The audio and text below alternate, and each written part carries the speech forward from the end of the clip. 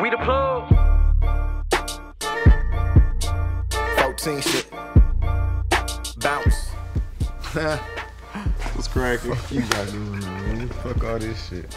Man, nigga, sitting in my mind just thinking about when I created Home Alone.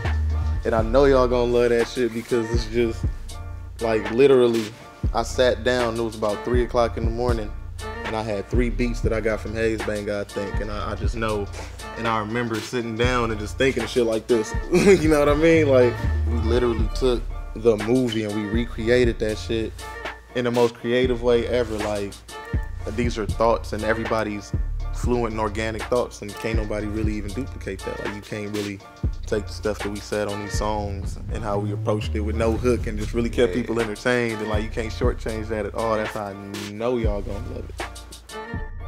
And I remember the night came through at Home Alone and I had to zone out on it. Had to over over gas y'all niggas like Around here.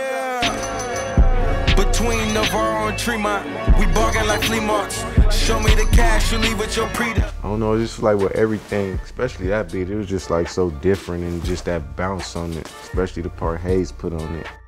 Home Alone is like, like for me, like that came from like a, chi- a, a child's place for me because I made that beat based off my favorite movie of all time, Home Alone, and then just adding de- all the el- movie classic Hollywood elements like Jaws, Psycho, like all these crazy elements is like, and then it doesn't, it don't even, it doesn't seem like all those movies are in that beat because it's so it's so cohes- cohesively put in the right the right spots. Wasn't hearing none of that. I hit the block and I was running that. She said people don't change till death, and boy, I hope it don't come to that. Hmm, ain't it ain't no fun switched to rap and got mean with the I hope listening to Home Alone you take away the idea just unity and being a unit again, but being yourself inside of a unit. You ain't gotta be just like the next person. You ain't gotta be, you know what I'm saying, identical to this guy or this man. You could be your own person and you could shine just the alike. So what we all did on this song, we just got on there and I love how everybody was just creatively themselves and nobody was trying to be in this place or this zone where they were being being forced to be someone else. So listening to this, I just want you all to take the idea of individuality and just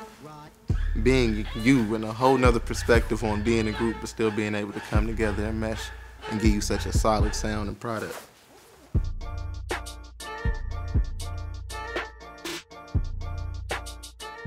I've been there at times that I shouldn't have been. I got in trouble for people I shouldn't have got in trouble for. I almost lost my life fucking with people thinking they was loyal like I'm loyal. But here I am with my brothers still.